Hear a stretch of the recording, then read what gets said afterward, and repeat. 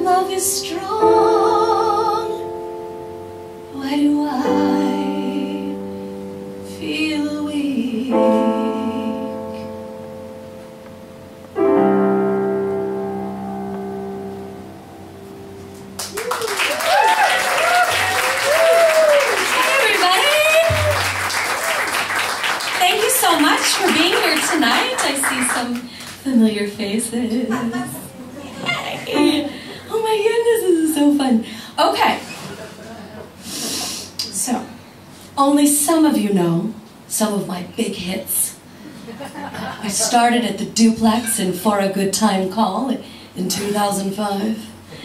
And then I moved on and I did 20 years of dating, which a boyfriend of mine when I was four said I should have called it 30 years of dating because I was 34. He thought he was funny. Um, but no, no, no, no. Then I had my critically acclaimed Uncut, one through six. Yes, there were only six. So I know some of you, now some of you just met me, so you didn't see those big hits. So, just to give you a little background, usually, thank you.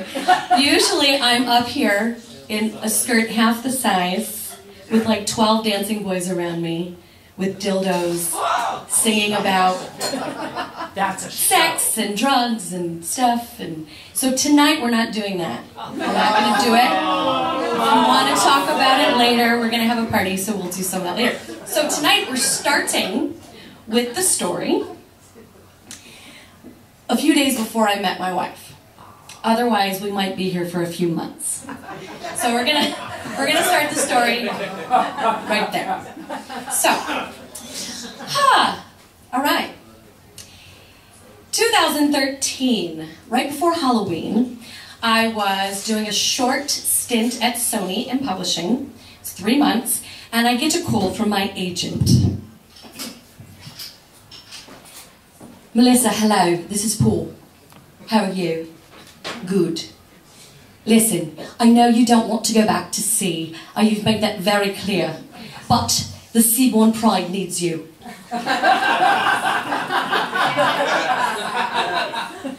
okay. Um, Seabourn Pride needs you, and only you. We have a girl, her mum is sick, and we really need you to fill in. It's only a month, maybe a month and a half, with 10 days in dry dock in the beautiful Bahamas, Freeport. It's gorgeous. Now, as an aside, anybody who hasn't done a dry dock, I'll let you know, but it's disgusting. It's terrible. Not, not a winning choice. So, Melissa, this is the deal. I need to know by the end of the day, because you have to fly on Monday. All right? I know your big show at Stonewall. Saw it on Facebook. Get it over with and come. Cheerio. Okay, shh. So I had some choices to make, right? So I had just moved into my sublet, which was great, but as many of you know in New York, moving is expensive. So I'm like, stay at the Stonewall, do the door, do the coat check, go to sea. I don't know. Like, I called my mom, I called Kurt Kelly, I called my mom again. The problem is, I had been trying to make it on land for some time now. It just wasn't quite working out.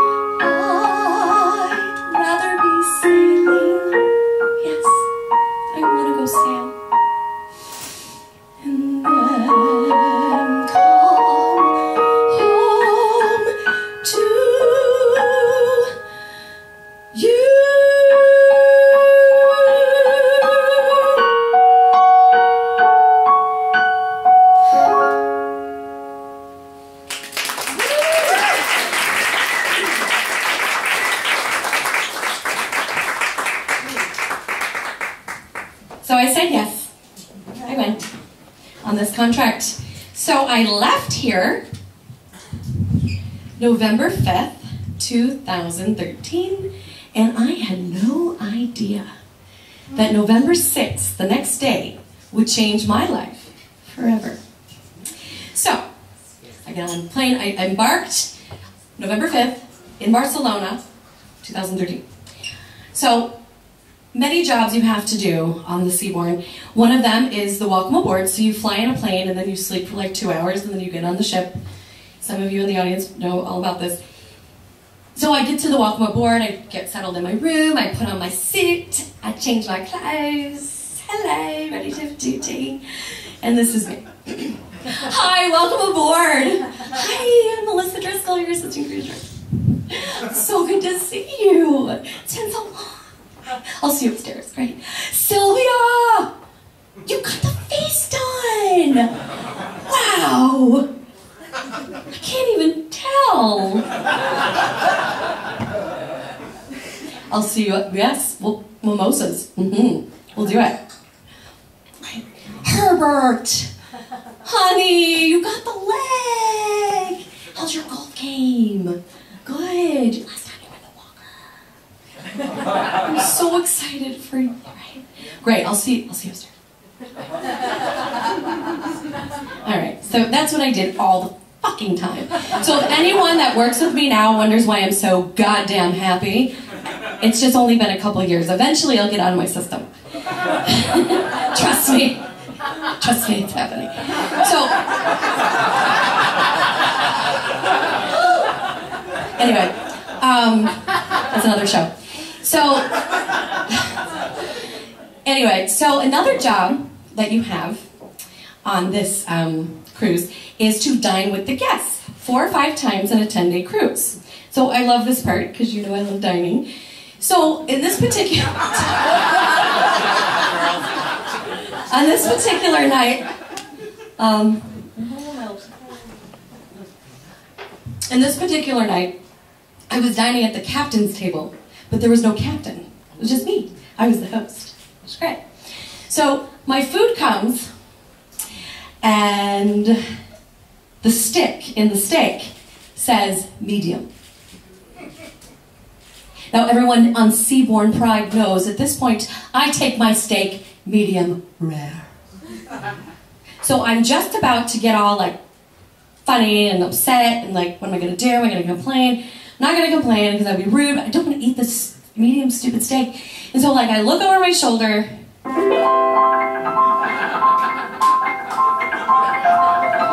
And the butterflies.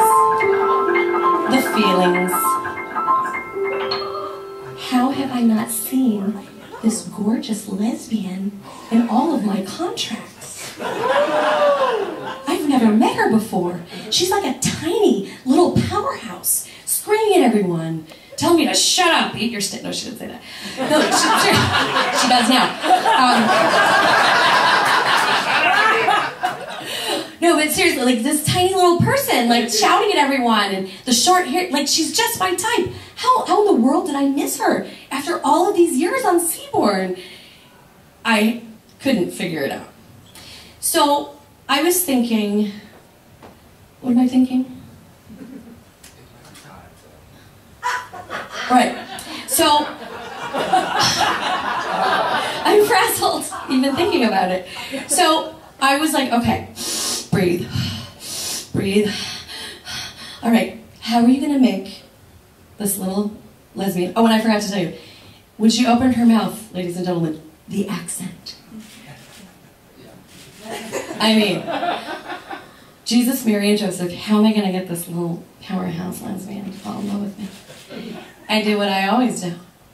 The power flirt.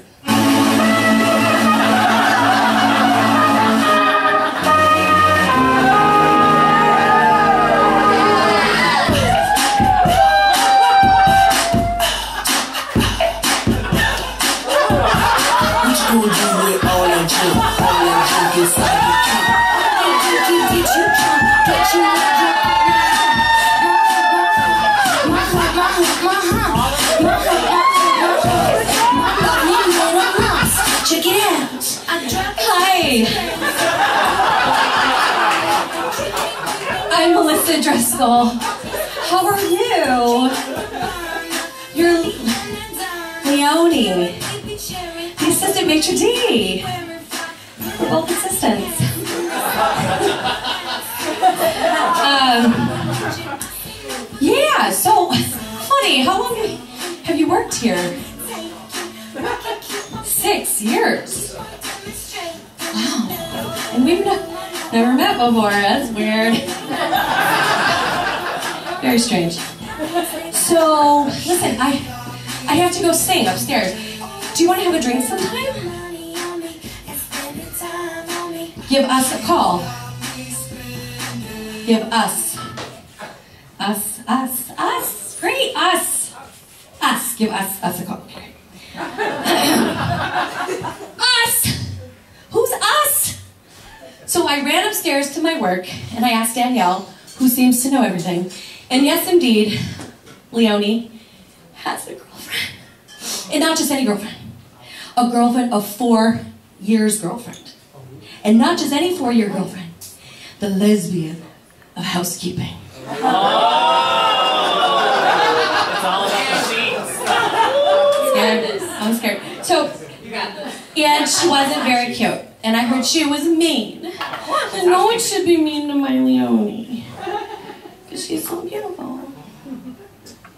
All right, so what do I do next? All right. How am I going to make this little powerhouse fall in love with me?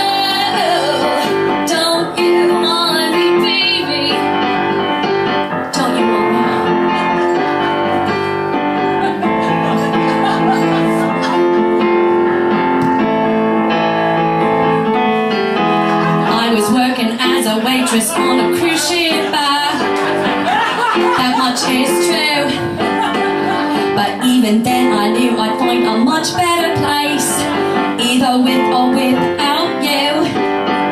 The years we have had have been such good times.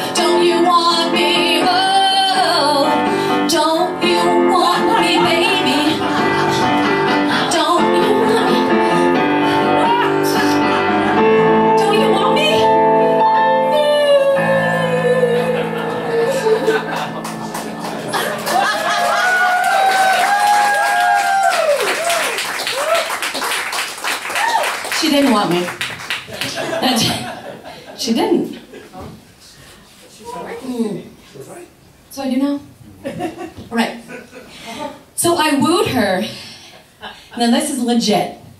I still had my black, my blackberry.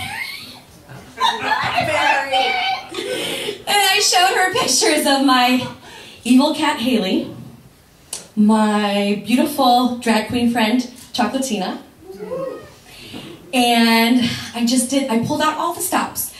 But then we had dry dock, this horrible dry dock, and I did a few things. I tried a few things. I asked her when we were at the bar, one of those tiki bars. I think Jamie was with me at the tiki bar when we, we vacationed there. Yes, we did. Um, that same tiki bar, still there. Um, that was like 2004. Um, this is 2013. I asked her if she wanted to have a shot, you know. Maybe some of you have seen me do that. Nope, no shot. Not interested. And then at one point I asked her if she wanted to take a walk on the beach. Nada. Another time, so she, at this dry dock, we were in a hotel, and her balcony faced the parking lot. So every time we would go out, she was always smoking on the balcony. So one time I was like, hey, I have an extra key. You can, if you want to come over my room later, you know, we can, you come over if you want. Nothing. Ladies and gentlemen, as hard as I tried, homewrecker or not, nothing ever The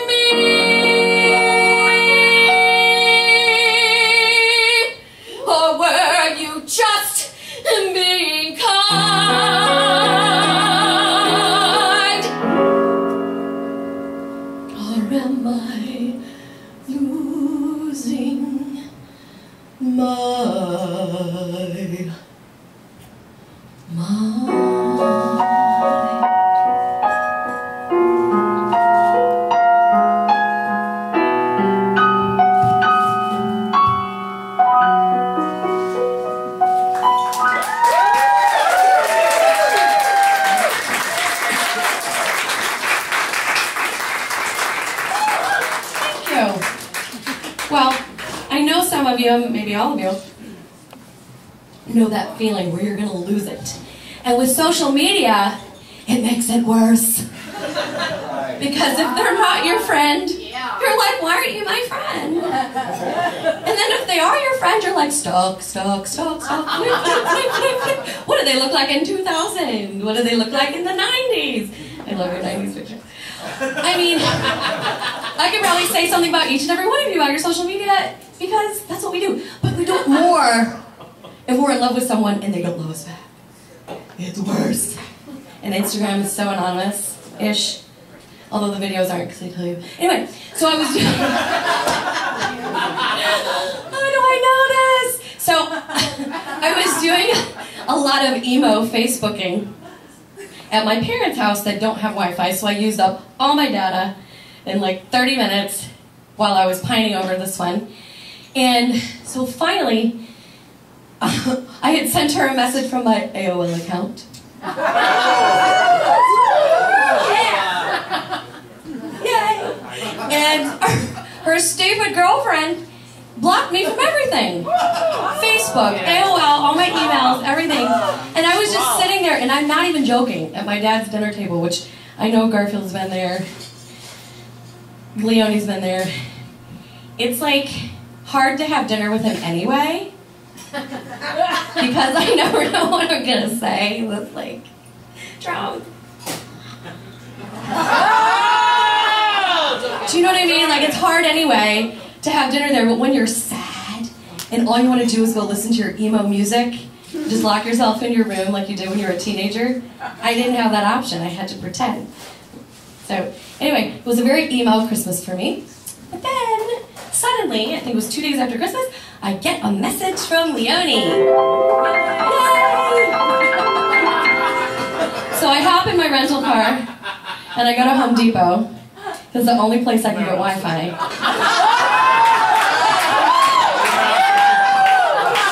I'm not kidding. I'm not even kidding. So I'm sitting there in the parking lot. You know, she's FaceTiming me and she's like, I did it!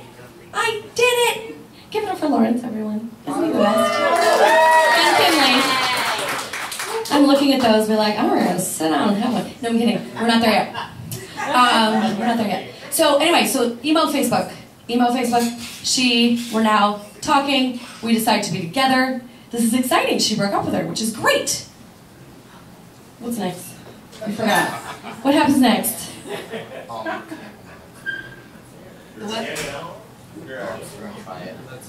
All right, so so I had a contract coming up. I had already given in to Paul, my agent from whatever part of England I'm doing at the moment. I'm not sure where he's from. So I'm not sure. From the musical Oliver. Hello, Melissa. It's Paul. So anyway, so I had a contract I already said yes to. So we were we were already going to be together um, coming up. So we're going to try our relationship at sea. Yippee! Yay! So then we find out that her ex-girlfriend and my ex-girlfriend from when I did a ship in 2010 were both going to be there. And then let's just fast forward to we were on board for like two weeks, and she wanted me to tell the story. It's not in the script, but that the sc- scary lady from housekeeping. So outside of my door, they had their housekeeping meetings right outside of my door. So when I, you know, dressed up in my larger heels that I can't walk in anymore, and I would have to like step over all these ladies having their meeting, which was already awkward because one of the ladies hates me. So that was that was really awkward moments. Anyway, getting to the point. So after being on there for two weeks, they started dating. My ex and her ex. Not even joking. fine. How delightful. So you're totally serious. So this was like a regular episode of Wife, wife Swap. I felt like I was like in some sort of weird TV show. Legit. So I turned 40 on this ship, and they have a great party for me. They had a DJ, and they had food, and they had all this stuff. So end of the party. It's just me and Leonie and her ex. So I could feel a little lesbian catfight coming on. So I decided to go back to my office because I needed a little help. I need somebody. Help. Not just anybody.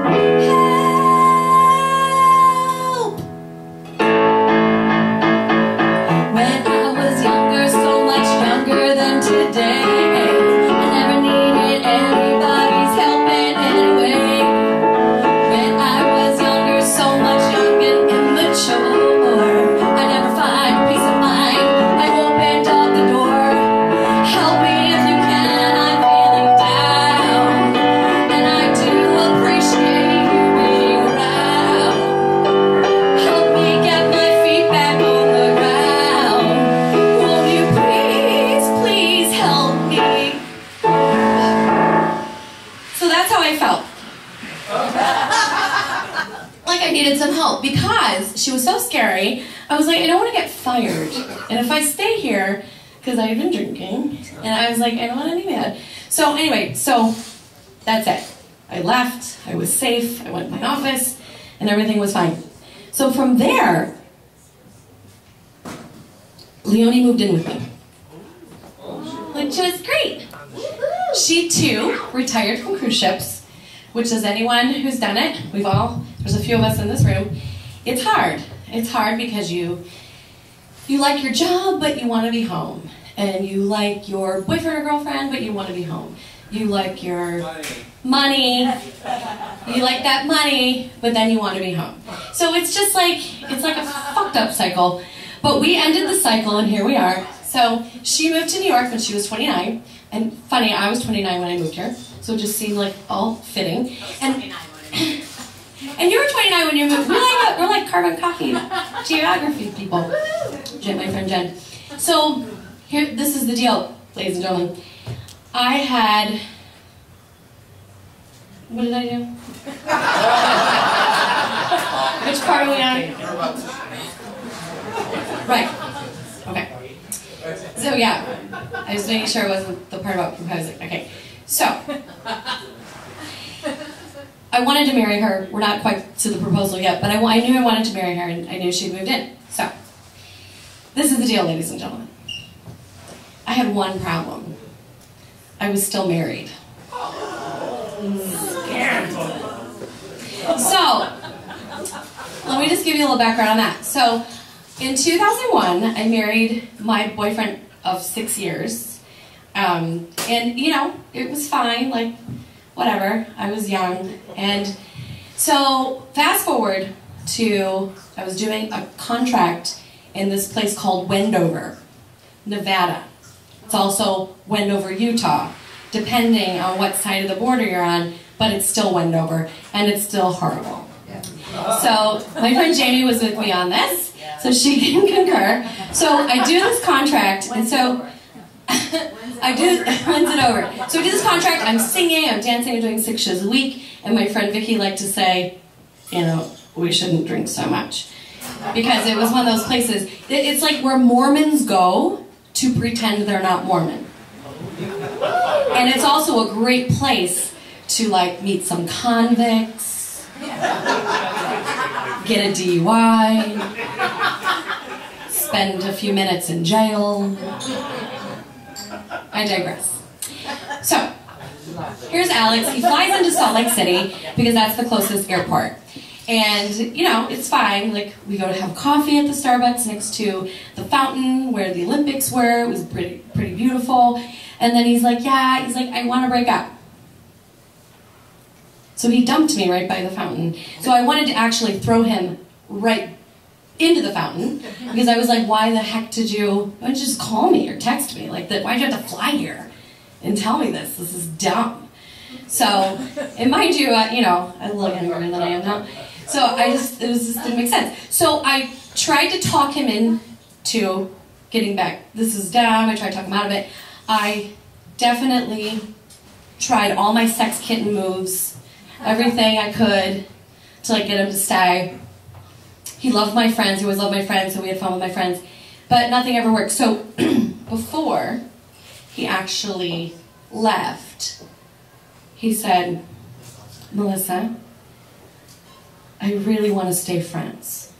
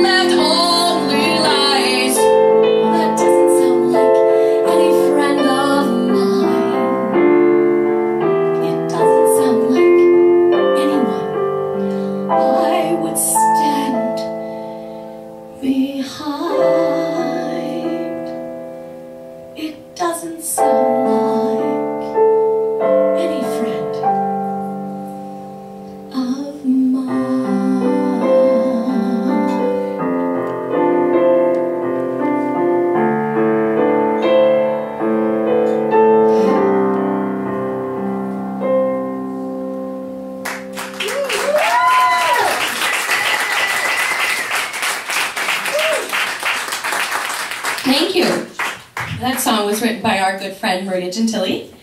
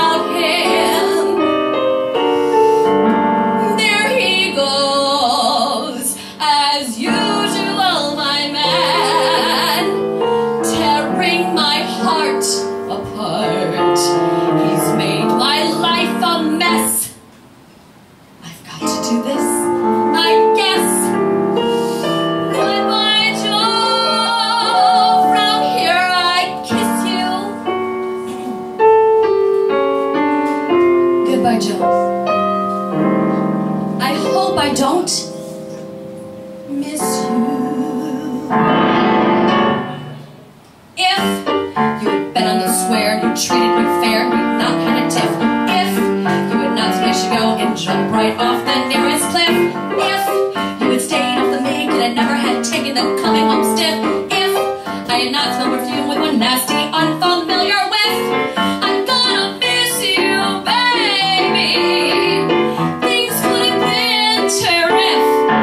what's the diff? If you had not had the cheek to stay up for a week, staying back in a jiff. If you were not 72 timing, If you weren't, if you hadn't, if you didn't, if you weren't, if you hadn't, if you didn't, but you were, and you have, and you went.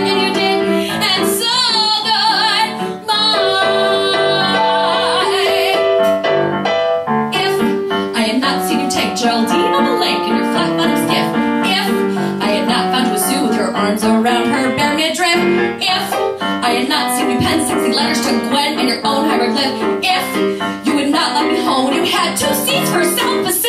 I'm gonna miss you, baby. I could get specific. What's it if? If you were not such a hound when game was around, always picked up and sniff. If you were not such a two-timing guy.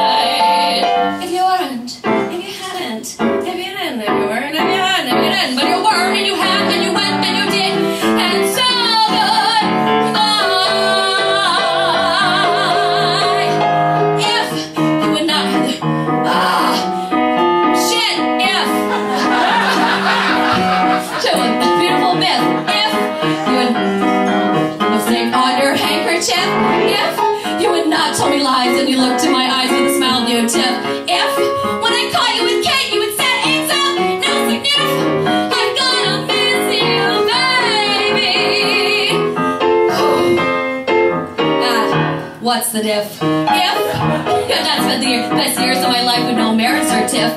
If you're not a two-time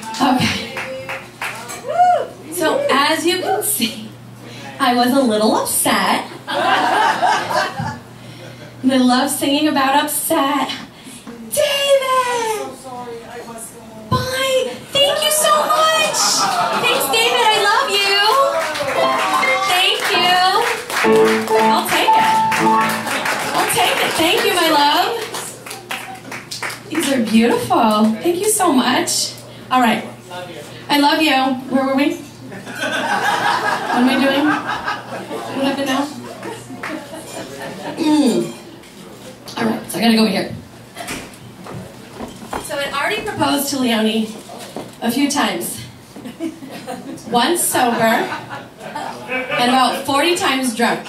So my favorite time was in St. Kitts. I threw her up against the fence, something like this, after like 12 shots of Patron, and I told someone I could bartend, so he actually let me like behind the bar and do some stuff. So like,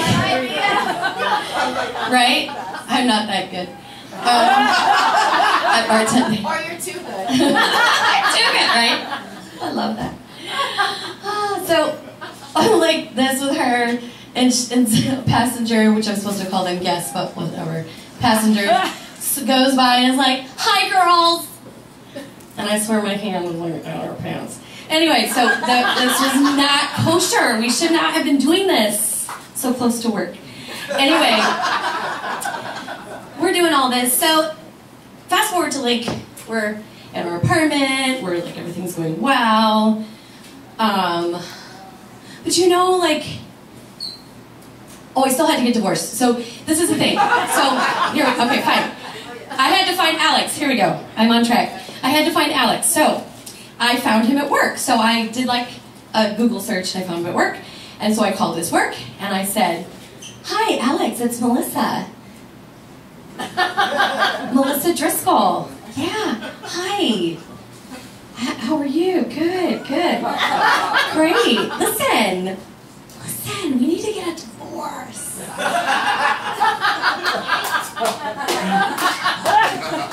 I'm engaged. Her name's Leonie. And she already lives with me and she's from South Africa. And you know how this goes. Okay? She needs her green card and she needs to work. And she needs it now and you need to fucking give me a divorce before I lose my mind. And yes, you're gonna have to drive to Vancouver and take a day off work. And you're gonna have to do it. You just need to do it. You just need to do it. Listen, listen to me. Listen to me. You're gonna do it now. You're gonna do it now. You're gonna do it this week. I'm gonna send you the papers. I'm gonna FedEx them, and you're gonna do it. You're just gonna do it. Because this is the thing, Alex. It's been 14 fucking years. You need to give me a fucking divorce. So he did. He sent those papers right to the wrong address, but I did get them. But they, they I don't know. I don't, I, Queens, God love Queens, because they, they found me. Anyway, I got my divorce, and Leonie and I. So we're now fast forward. We're living together. We have our little cat Jammer and our little cat Ellie, and we have our friends, and we're having so much fun. And now it's to the point where, you know, we're getting to know each other's little habits. We're starting to, you know, drive each other a little crazy. Drive a person crazy. You could drive a person mad. First, you make a person hazy, so a person could be had. Then you leave a person dangling, sadly, outside your door, which only makes a person gladly want you even more. I can understand a person if they said to go away. I can understand a person if they actually were gay. A person that, a person that titillates a person then leaves her flat is crazy. She's a very troubled person. She's a crazy person herself.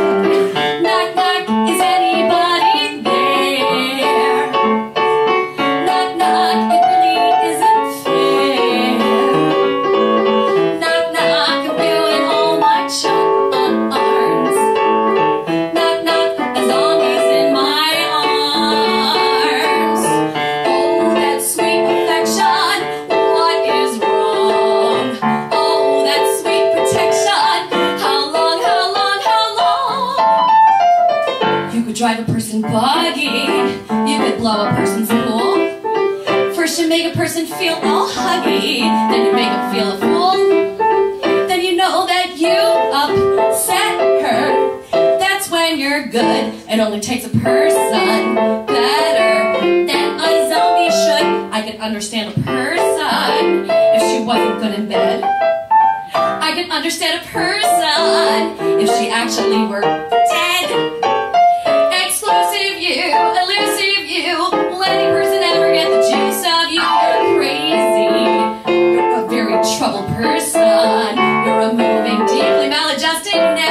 Trusted. Crazy person yourself. Crazy person yourself. Well,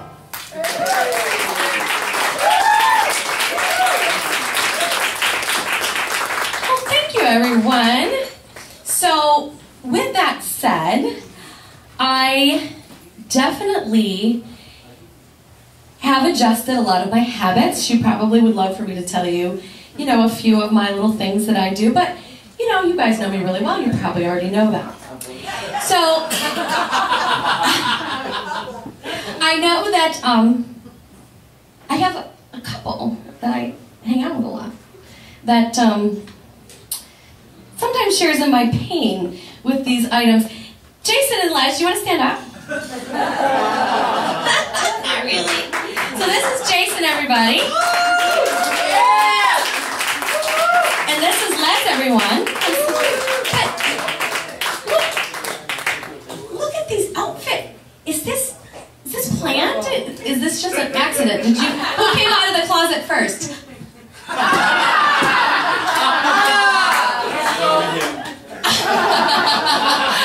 I did know that actually. I did know that. Okay.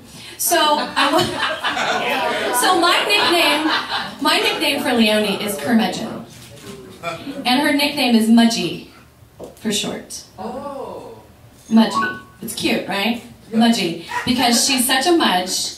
She's always like, and I want to go to Stonewall again. Who am I going to talk to? In- interesting people like Anne and Ingrid and Connie who are doing things with their lives. Yes, I only hang out with people who are doing something, but. Uh, But along those same lines, she, you know, up and coming people who have things going on. She doesn't want to talk to anyone who's like boring.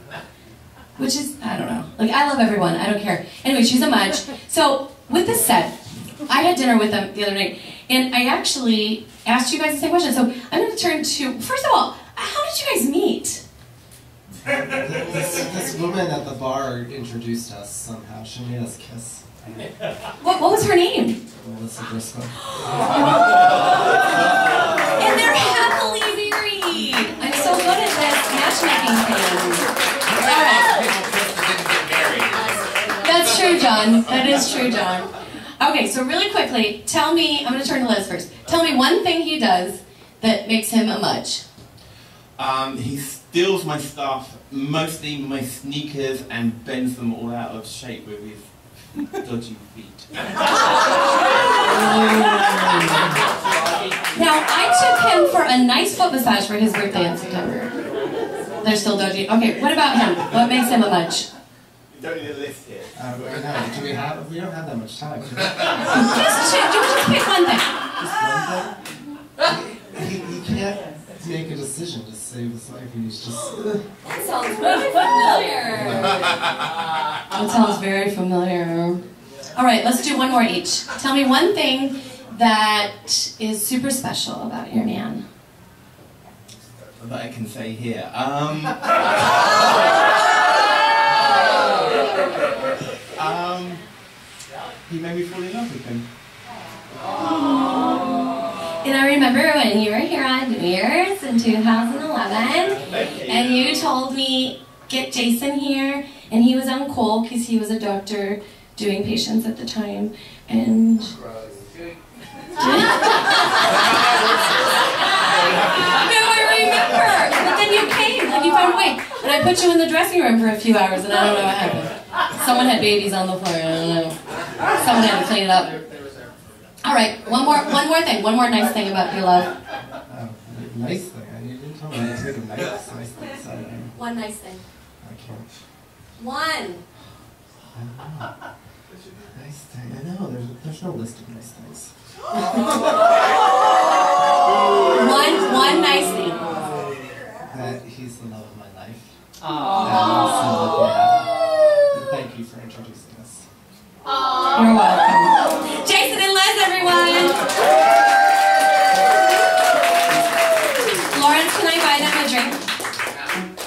On, my on my tab that I haven't started yet because I haven't had a drink yet. So I want to give a quick shout out to Anne Brown who took me shopping. She she showed me this cool store called Lingo, and it's in Soho. So this dress actually does this. So now it's a long dress. But thank you, Anne, for shopping with me because I'm a terrible shopper. So we have a couple songs left, so let's get, get back to the script. Um, so Leonie has a very talented brother-in-law. Her, what's what's the? Oh, I, I skipped a song. Okay. Shit. Okay. We have so much fun together, but sometimes she's mean. And she hates when I say that she's mean, because she thinks she's not mean, but she actually is. Why must you be mean to me? Oh, honey, can't you see?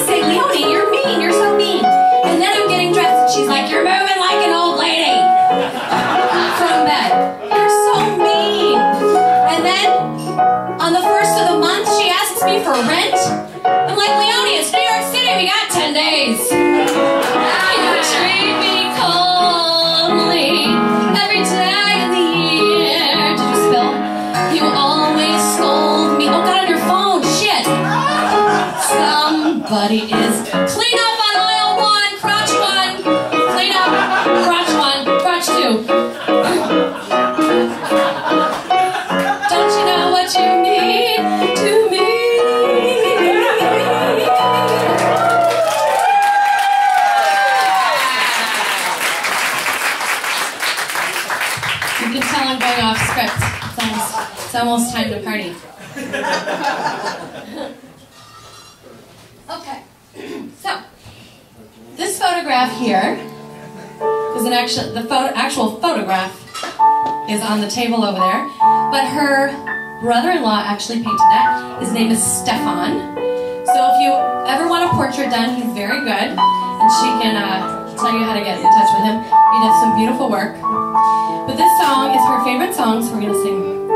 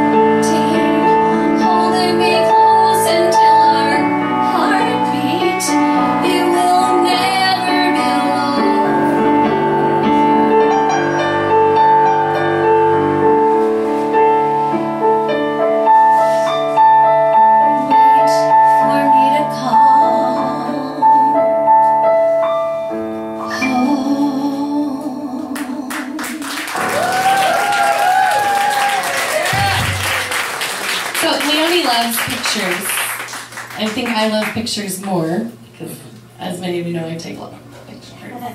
Then so I like I have so many pictures. But speaking of pictures, a quick thank you to Ian Carlos Crawford for being here tonight, photographing, keeping a memory alive, and also my friend Armando, Armando Barabi, Barabi being here tonight.